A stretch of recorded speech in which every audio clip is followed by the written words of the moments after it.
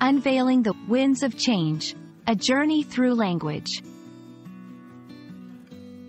Hello, dear learners. Today, we're embarking on a fascinating journey to explore a very poetic and powerful phrase in the English language, the winds of change.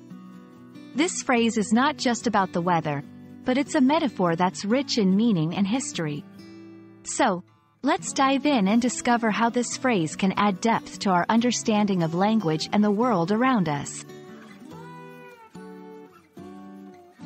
Before we unravel the meaning behind the winds of change, it's crucial to understand what a metaphor is.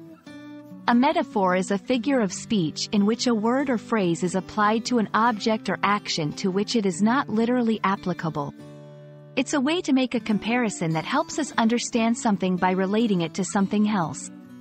For example, saying, time is a thief, suggests that time, like a thief, can take something away from us, our youth, moments, etc., without literally meaning time can steal. Now, let's focus on the winds of change. This phrase is used to describe a significant shift or transformation in situations or conditions. Just like how the wind can change direction and bring about a change in the weather, this metaphor suggests that change is coming or has arrived, affecting people, societies, or even the course of history. It's often used to signal the start of something new or the end of an old era. Understanding the historical context can often deepen our appreciation of such phrases. The Winds of Change is famously associated with a speech by British Prime Minister Harold Macmillan to the South African Parliament in 1960, in which he spoke about the decolonization of Africa and the end of the British Empire. This speech marked a pivotal moment and acknowledged the global shift towards independence and self-governance in African countries.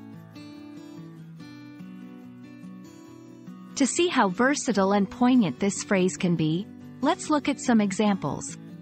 With the new government in power, the winds of change are blowing through the country, promising a brighter future for its citizens.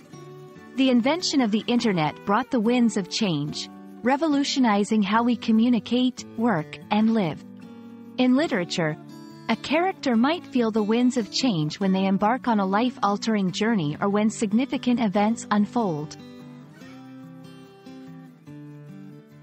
The Winds of Change is a beautiful and powerful metaphor that captures the essence of transformation and the inevitable shifts that come with time. Whether in politics, technology, personal lives, or societies, it reminds us that change is a constant force, much like the wind. We hope this exploration enriches your understanding and appreciation of the English language. Keep learning, and may the winds of change always lead you to new discoveries and growth.